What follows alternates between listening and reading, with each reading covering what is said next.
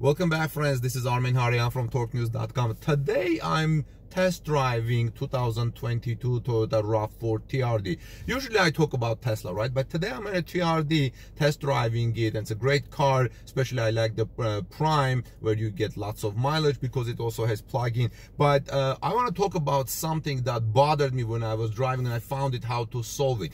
When you drive the vehicle, uh, the touchscreen infotainment system is very bright at night and it hits you in your eyes. And i'm going to uh, show you in this report how you can change this and how you can change the brightness and color. Let's take a look. First of all the brightness. Okay so when it's dark and you drive the vehicle it's very bright and it hits you in the eyes. Okay what you do is very simple because it took me a while to find out you click on home and then you click on menu and from menu you click here display all right? You click on display. From display look you have two options. You go camera and also you have the general option all right? You click on general option and here we go. It gives you options to focus the to fix the brightness and also the contrast. You can do it from here and you can do it here. For example you can do like look how uh, the colors may change. Okay I don't know it's why not doing I, oh, it looks like I need to do it from here. Look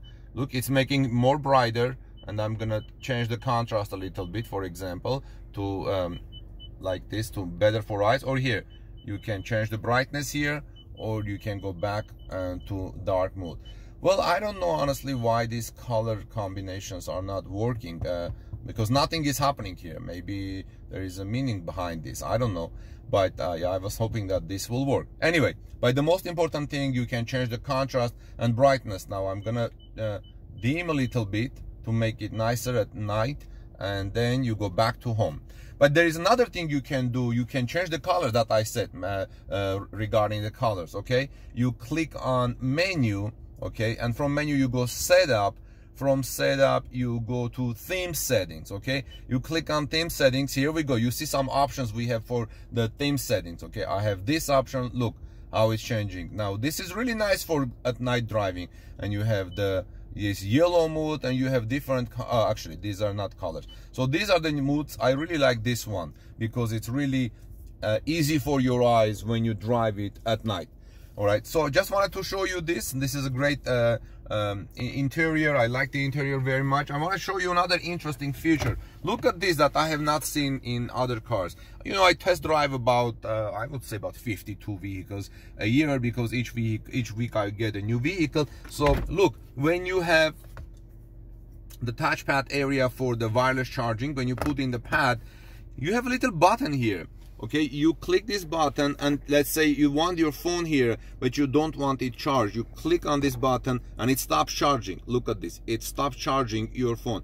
But you click this button back again and it charges your phone. It's good option to have whether you like to have your phone charged. Maybe your phone is already charged. You don't want it to hit the battery so you click that little button and it uh, stops charging your phone. Cool feature.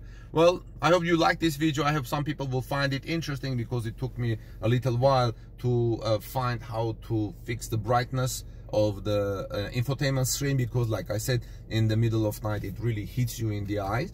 But um, here you go and I'm gonna put it back to uh, parking. And thank you very much. God bless you everyone. Please subscribe to our channel. Give us thumbs up if you find this video helpful. This is Armen Hareyan from torquenews.com have a great day. Peace be with all of you. God bless you everyone. See you soon in our next report